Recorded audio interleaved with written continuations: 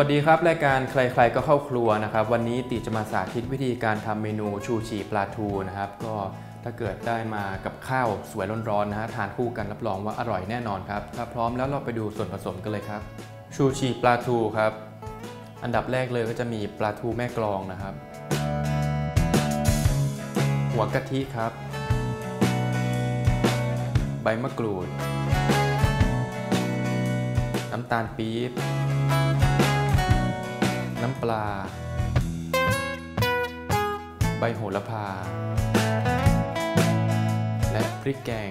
เผ็ดนะฮะหรือพริกแกงชูชีเลยก็ได้คล้ายๆกัน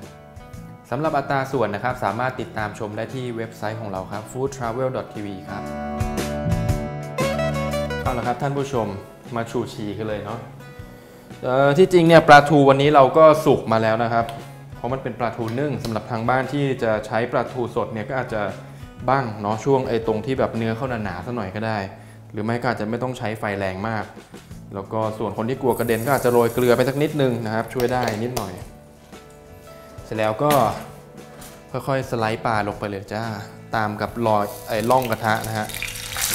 แวบลงไปอย่างนี้เนาะอย่างนี้ก็ได้อะนะครับเสร็จแล้วก็รอแป๊บหนึ่งครับผม ให้มันแบบว่าเป็นรอยฉ่ารอยจี่นิดหนึ่งนะครับแล้วเดี๋ยวกลับมาดูกันครับ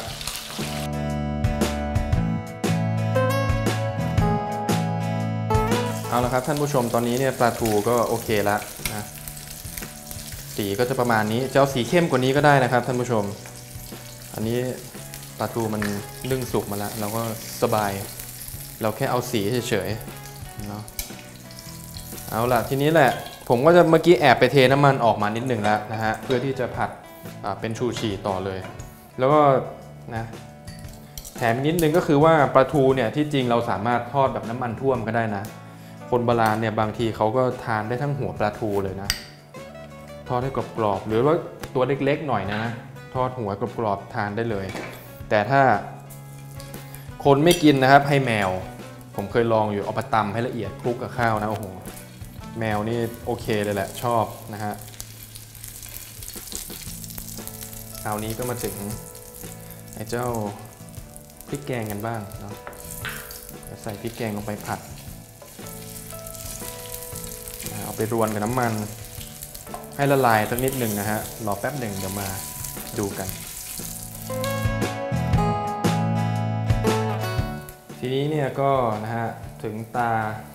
ที่จะต้องใส่กะทิละ เพราะว่าตอนนี้พริกแกงเนี่ยกลิ่นหอมนะฮะเต็มห้องอัดเลยแล้วก็มันก็จะแยกตัวออกมาอย่างนี้นะฮะเราก็จะใช้หัวกะทิเนี่ยแหละครับ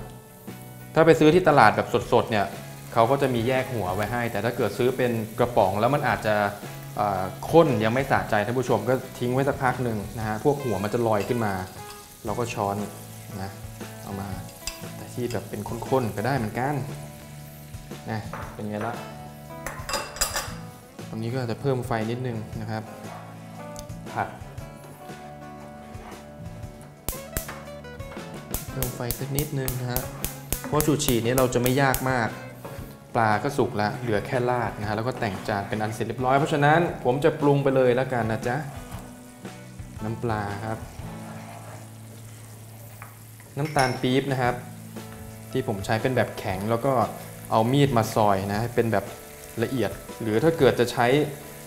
ถ้ามันซื้อมาเป็นแบบเป็นถุงใช่ไหมท่านผู้ชมก็เอาใช้สากไม้นี่ยทุบเลยก็ได้นะฮะ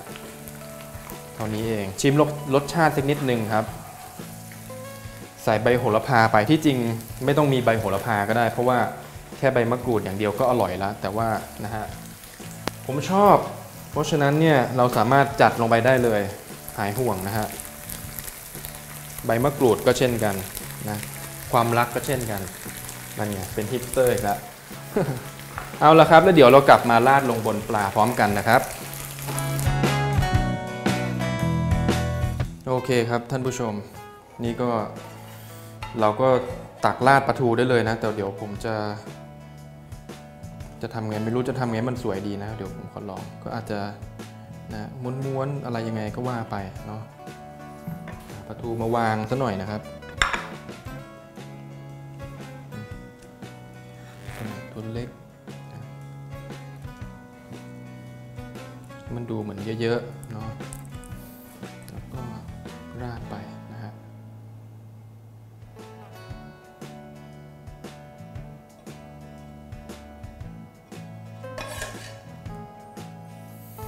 เอาละ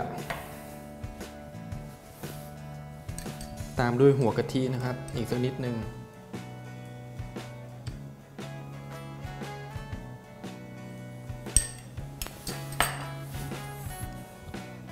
พริกแดงครับ ใบมะกรูดซอยอก็เป็นอันเสร็จเรียบร้อยแล้วท่านผู้ชมกับชูชีปลาทูนะครับ ลองทำ ทานกันดูที่บ้านง่ายๆนะฮะสำหรับอัตราส่วนสามารถติดตามชมได้ที่เว็บไซต์ของเราครับ foodtravel.tv ครับ แล้วไว้เจอกันใหม่ สวัสดีครับ